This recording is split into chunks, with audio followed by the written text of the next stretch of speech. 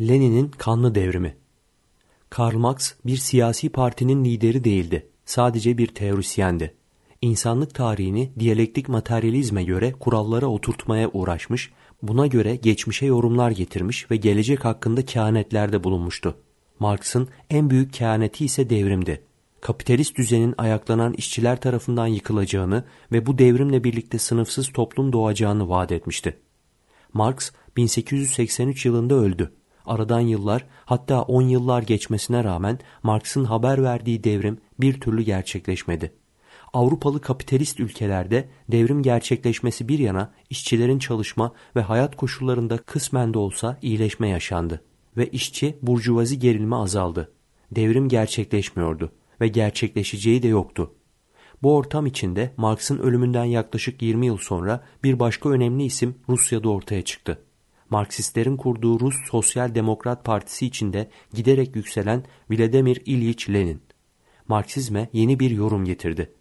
Lenin'e göre devrimin kendi kendine gerçekleşmesi mümkün değildi. Çünkü Avrupalı işçi sınıfı burjuvazinin kendilerine sağladığı imkanlarla uyuşturulmuştu. Diğer ülkelerde ise zaten kayda değer bir işçi sınıfı yoktu. Lenin bu soruna militan bir çözüm önerdi. Devrim, Marx'ın öngördüğü gibi işçiler tarafından değil, işçiler adına hareket eden profesyonel devrimcilerden oluşan askeri bir disipline sahip Komünist Parti tarafından gerçekleştirilecekti.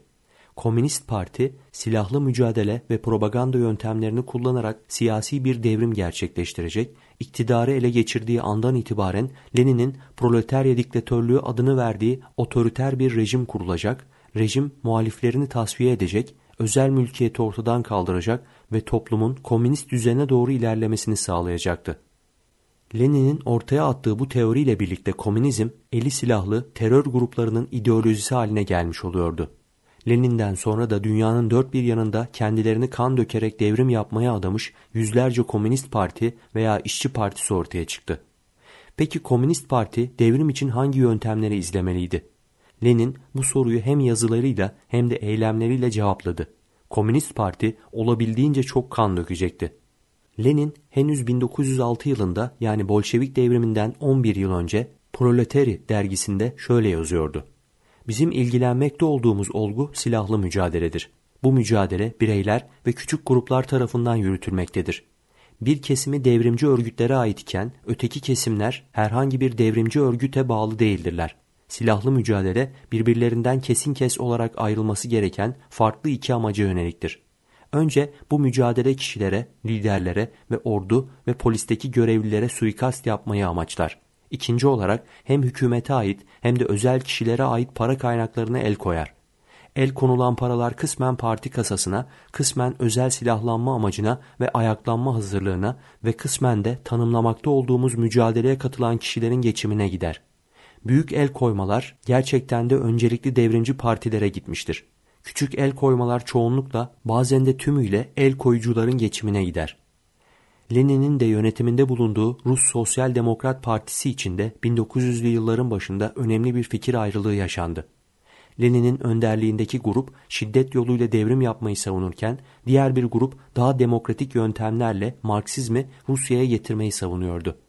Leninistler gerçekte sayıları az olmasına rağmen çeşitli baskı yöntemleriyle çoğunluk haline geldiler ve Rusça çoğunluk anlamına gelen Bolşevik sözüyle anılmaya başladılar.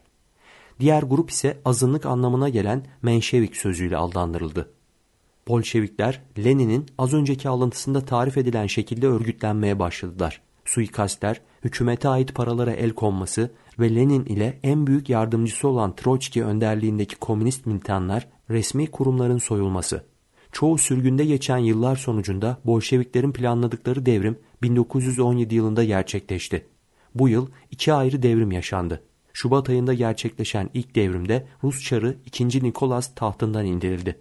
Ailesiyle birlikte hapsedildi ve demokratik bir hükümet kuruldu. Ancak Bolşevikler demokrasi değil proletarya diktatörlüğü kurmaya kararlıydılar. Ekim 1917'de bekledikleri devrim gerçekleşti. Önce hükümet merkezinin bulunduğu Petrograd'ı ardından Moskova'yı ele geçirdiler. Her iki şehirdeki çatışmaların sonucunda dünyanın ilk komünist rejimi kurulmuş oluyordu. Ekim devriminin ardından Rusya büyük bir iç savaşa sahne oldu. Çar yanlısı generallerin topladığı Beyaz Ordu ile Troçki önderliğindeki Kızıl Ordu arasında geçen savaş tam 3 yıl sürdü. Temmuz 1918'de Bolşevik militanlar tarafından Lenin'in emri üzerine Çar II. Nikolas ve tüm ailesi kurşuna dizilerek idam edildi. İç savaş boyunca Bolşevikler rejim muhaliflerine karşı en kanlı cinayet, katliam ve işkenceleri uygulamaktan çekinmedi.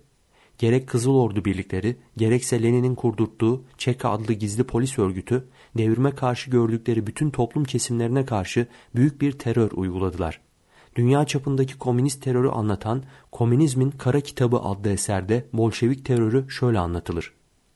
Bolşevikler mutlak iktidarlarına yönelen edilgen de olsa her türlü muhalefeti veya direnişi sadece siyasi muhalif gruplardan kaynaklanmayıp soylular, burjuvalar, aydınlar, din adamları gibi toplumsal ve subaylar, jandarmalar gibi mesleki gruplardan da gelse gerek hukuki gerekse fiziki olarak ortadan kaldırmaya karar verdi ve bazen işi soykırım boyutlarına vardıracak kadar ileri götürdü. Daha 1920'de yürütülen Kazaklardan arındırma kampanyası önemli ölçüde soykırım tanımının kapsamına girmektedir. Yeri yurdu tamamen belli bir topluluk olan Kazaklar, tüm erkeklerin kurşuna dizilmesi, kadın, çocuk ve yaşlıların sürgün edilmesi, köylerin yerle bir edilmesi ya da Kazak olmayanlara devredilmesi sonucu bir grup olarak varlığını sürdüremez duruma getirildi. Lenin, Kazakları Fransız devrimi dönemindeki Vende ile bir tutuyor ve onlara modern komünizmin mucidi Bubeuf'un daha 1795'te soykırım olarak tanımladığı yöntemi uygulamak istiyordu.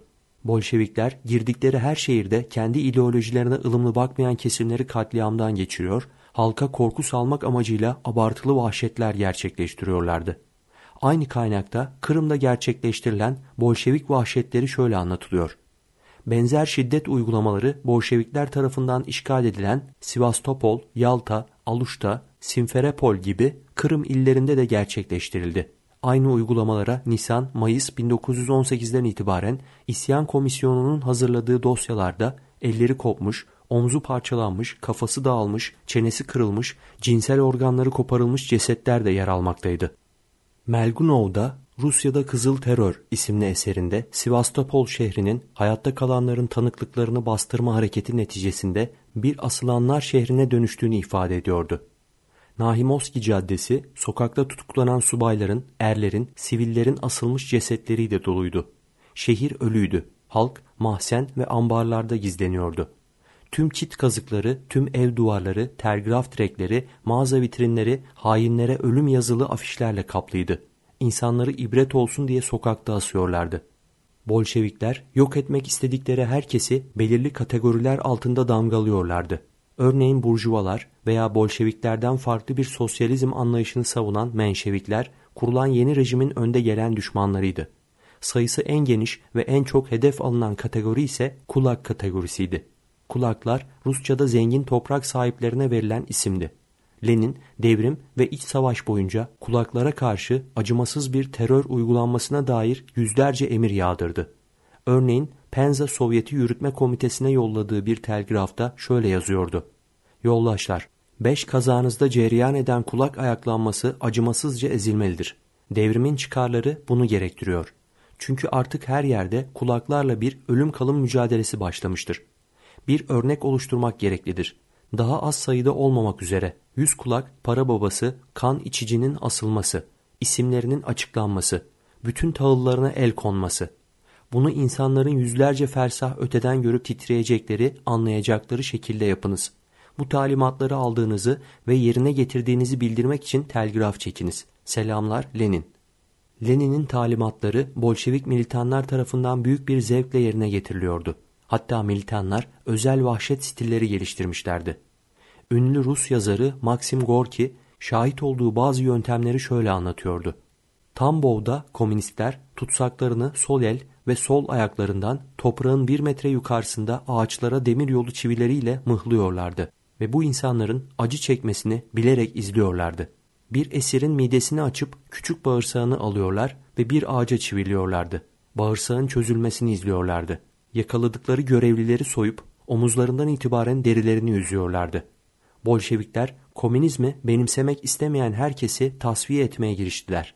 Lenin'in az önce okuduğumuz emrine benzer daha pek çok emir ve uygulama sonucunda on binlerce insan hiçbir yargılama olmaksızın kurşuna dizildi. Pek çok rejim muhalifi de Gulag adı verilen ve tutukluların çok ağır şartlarda ölesiye çalıştırıldıkları toplama kamplarına gönderildi. Çoğu bu kamplardan sağ kurtulamayacaktı.